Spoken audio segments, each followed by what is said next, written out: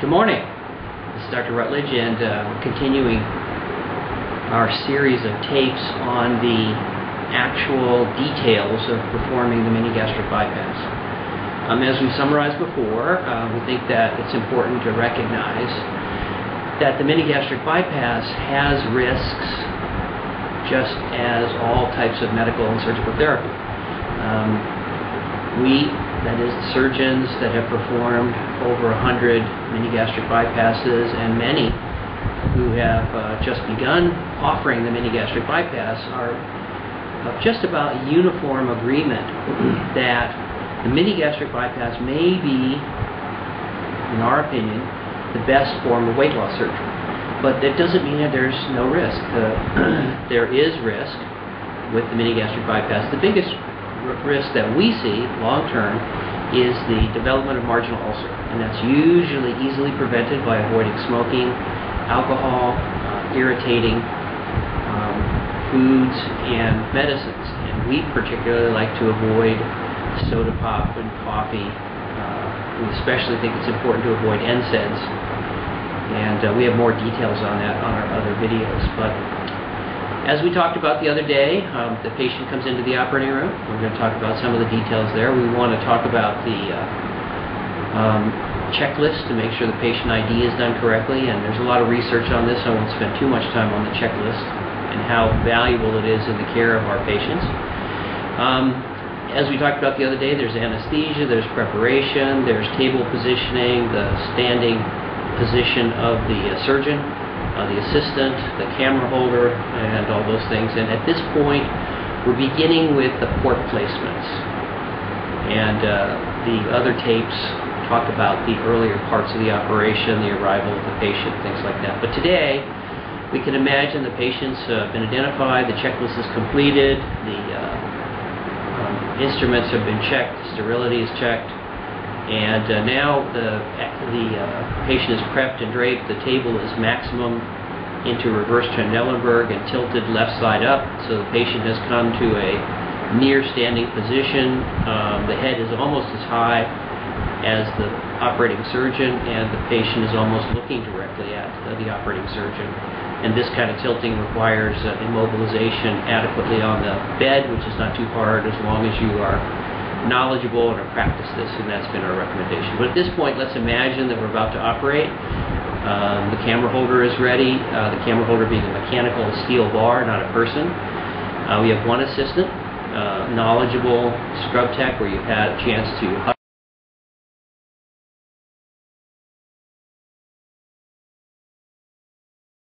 and talk about and discuss the details of the surgery with.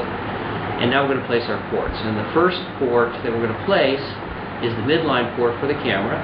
Um, two ways of placing this. Uh, one uh, older technique is the Veress needle. Uh, the newer technique that I prefer is to use a VisiPort so you can see directly as you enter the abdomen. So you make a skin incision, and the location here is about one and a half palms down from the xiphy sternum. Um, it sounds like a trivial issue, but placing these ports and allowing the angles to be correct means that the rest of the surgery will be easy. If you notice that you're struggling or the angles are incorrect, think that of the very first simple steps have been done incorrectly. And this is something that does take some time to get used to. But basically, we're talking about one and a half palms, occasionally two palms for a taller person, occasionally one palm for a shorter person. But generally, the distance um, that we like to say of the spread, kind of two finger breadths, uh, two fingers spread as far as you can. It's about a palm and a half down. Uh, importantly, it's not the umbilicus. Uh, that's uh, especially the heavy person can drop down with panniculus, so we don't recommend that. Um, you go in carefully and meticulously, and once the camera is in, you look around to determine whether or not you have um, had an injury on entrance into the abdomen, and if this is the case, obviously it needs to be taken care of. Um, following this, you insufflate uh, the abdomen. Um, after insufflation, we're going to place the other four ports. So the total number of ports are five ports. For our American audience, we're going to essentially create a baseball diamond. And uh, the other four ports are all subcostal, usually about two to three finger breadths below the costal margin, and the ports begin uh, for this discussion in the uh, left axillary line of the patient, where we place a 5 millimeter port. Uh, and then all other ports used, including the camera port, need to be 12 millimeter ports. That is, all of the other ports must be able to accept the staple gun as well as the camera. And because we're going to be using each of those ports for the staple gun during the surgery, so we want to be mindful of that. All right, so let's think again. Uh, we're going to do uh, anterior axillary line, subcostal on the left side. That's a 5 millimeter port. Next, we're going to go mid-epigastric line, subcostal, left side, and that's a 12 millimeter port. Next is midline, subcostal, about two and a half finger breadths below the xiphy-sternum, and that's a 12 millimeter port. And then between the left, the right axillary line and the right mid-epigastric line, depending on the patient and how you view from the inside, one more 12 millimeter port. now, having placed those, we look around.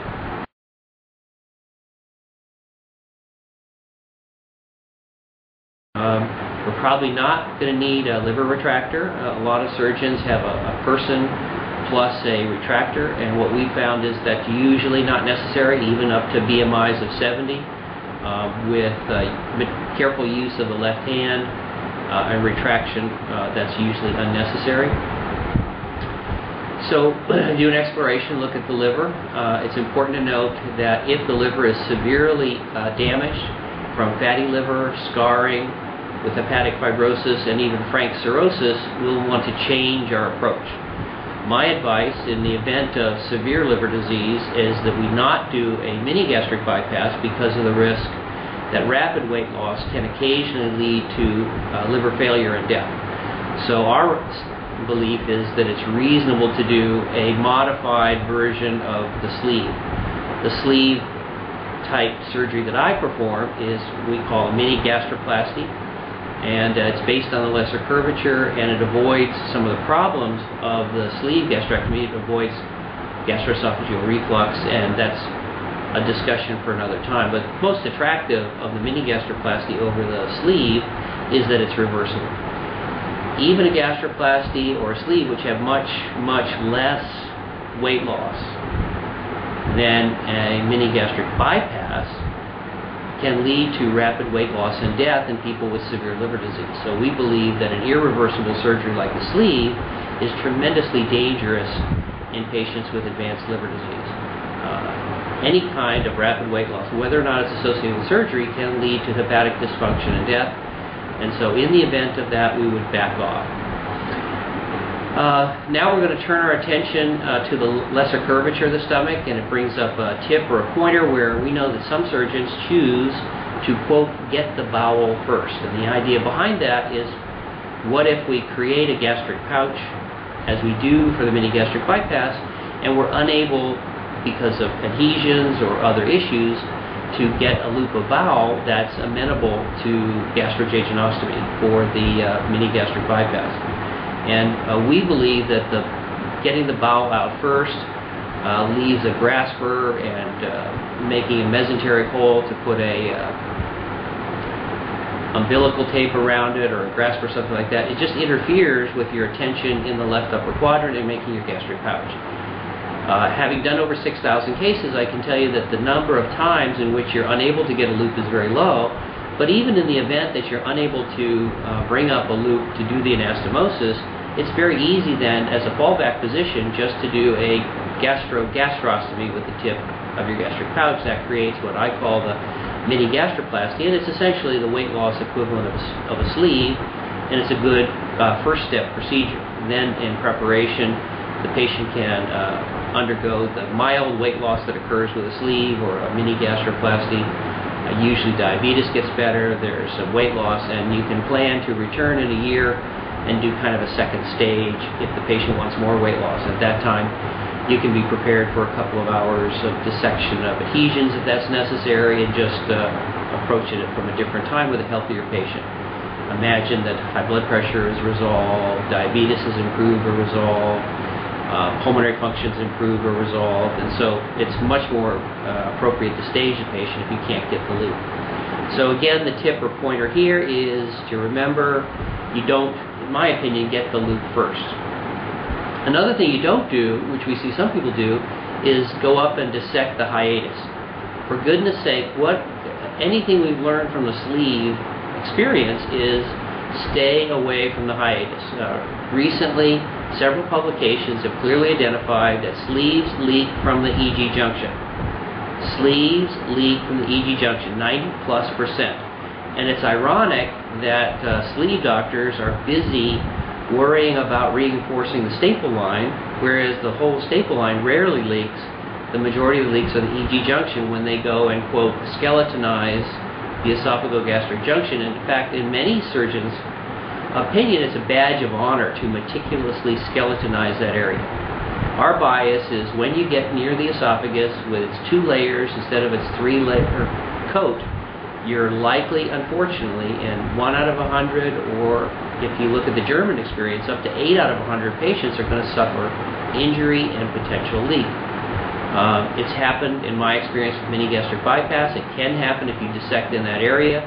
So, especially at this point, do not bluntly, sharply, or with any kind of electrical or other energy dissect in the area of the EG junction. It's unnecessary uh, for the mini gastric bypass. It may be necessary for the sleeve because they have the absence of a bypass. So, to get effectiveness, they desperately need to avoid that proximal gastric pouch. But in dissecting in that area to avoid the pouch and making sure you have the maximum resection, unfortunately you put your patient at risk for a leak and a leak after a sleeve, which has been shown is a devastating and deadly complication, often requiring three to six months in the hospital, a stent, and just something you want to desperately avoid because putting a hole in the GI tract is usually a minor issue. In other words, we put holes in the stomach and the bowel and the colon as general surgeons all the time. But then we repair the area, we staple it or sew it back up. The problem of the EG junction is not being able to recognize the area, and in the event that you recognize it, repairing it, particularly because of the two-coat esophagus, is very difficult and sometimes, no matter what you do, impossible. So stay away from the EG junction. Do not dissect the EG junction now or later, and we'll talk about it as we come to that area later in the case. So it's very simple now. You put in a large grasper in the left lateral port. You put a regular, or what we call just a grasper, in the midline port, and your right hand then operates with the harmonic scalpel or LigaSure or whatever um, type of dissecting tool that you use into the patient's left mid-epigastric port. And you're working now through the midline and the mid-epigastric ports. Those are your two working ports, left hand, right hand. And remember, that's going to be very hard to do if the patient's supine. You want the patient tilted up and towards you so that you are not leaning over and not stretching out your arms. That's critical to make this an easy and simple operation. Now, with the large grasper in the left lateral port, you grab the stomach and retract it laterally. This exposes the lesser curvature and the crow's foot of the stomach, and here we begin to dissect this area. Again, some tips. Uh, with the harmonic scalpel coming in through the mid-epigastric port, the line of dissection often is parallel to the long axis of the patient and cephalad toward the head of the patient. This dissection, as it's carried towards the head, will lead you into branches of or to the actual left gastric artery. You don't want to be there. I have been there, and even with a nice LigaSure or harmonic scalpel, the size of that vessel in the midst of a big fatty mesentery, and particularly in a difficult big man, can lead to significant problems. So stay away from that. So even though there's a natural kind of draw to pull you into a dissection along the lesser curvature, along the vertical stomach up towards the EG junction, resist that and instead carry your dissection distal on the stomach more along the horizontal portion of the stomach and skeletonize and work towards the pylorus. Again, you want a long gastric pouch. Remember, we're going to be saying this over and over again. Uh, the Billroth 2 is a fine operation when it's placed after antrectomy. The Billroth 2 should never be placed when it's adjacent to the esophagus. So to get away from the esophagus and have a healthy, positive result from the MGB, the surgeon needs to have the wisdom from 100 years of experience with the Billroth 2. The Billroth 2 is not perfect, but it works very well when it's placed in the position of a gastrojejunostomy following antrectomy, that is, with a long gastric pouch. There are articles in the medical literature where Billroth 2 results in gastritis and irritation, and many times that's because of a hemigastrectomy or even a two-thirds gastrectomy or a subtotal gastrectomy and a Billroth 2. These will never work well. We know this from over 120 years, almost 150 years now, experience with the Billroth 2. Placing a Billroth 2 adjacent to the esophagus always is a bad idea. And we see new MGB surgeons always making this mistake. So, from the very beginning, at the beginning of the surgery, remember, we want a long gastric pouch to avoid the problems of bile reflux, particularly bile reflux into the esophagus. When we have a long, narrow gastric pouch with a competent lower esophageal sphincter and a wide open gastrojejunostomy, the abdominal pressure will tend to close that just like a flat valve. And so that tends to protect the stomach and the esophagus from problems. But if there's a very short gastric pouch, everything goes out the window. Uh, again, this is hundred plus years of experience.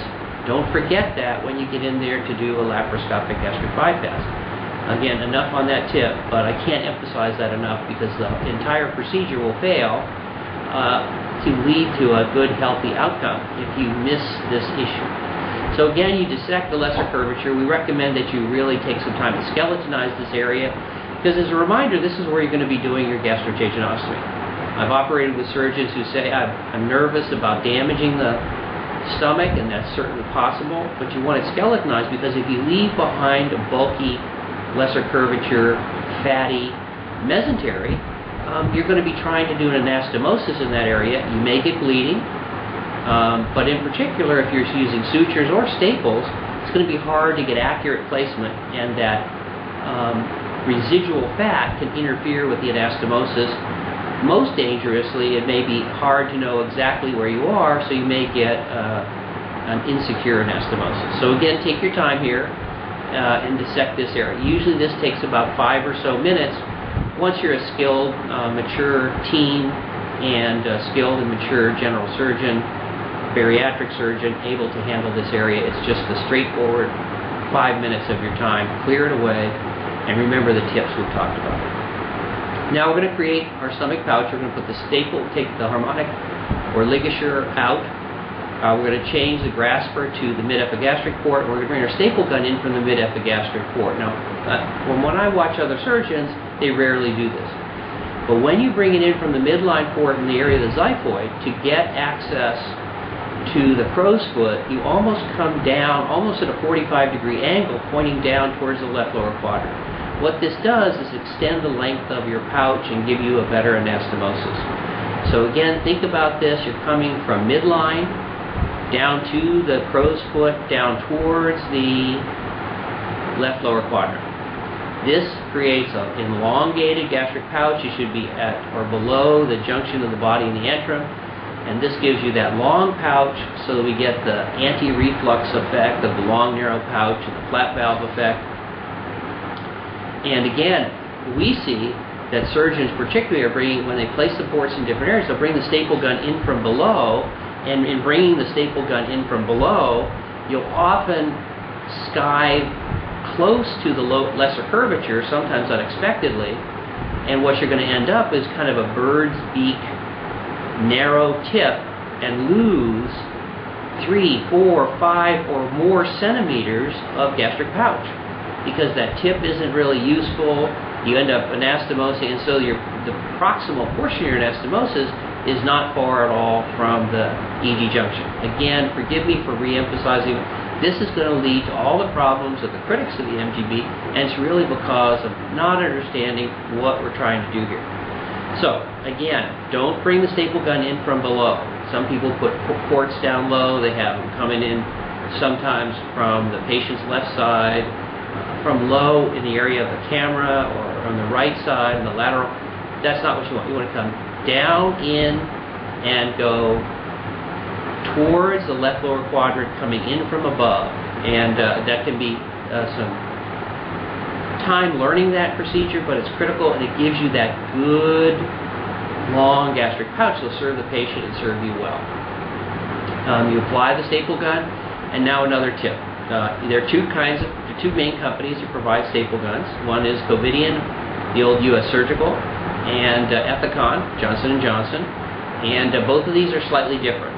Now what we want to do is fire a staple line, we want it secure, and we'd also like it to be hemostatic.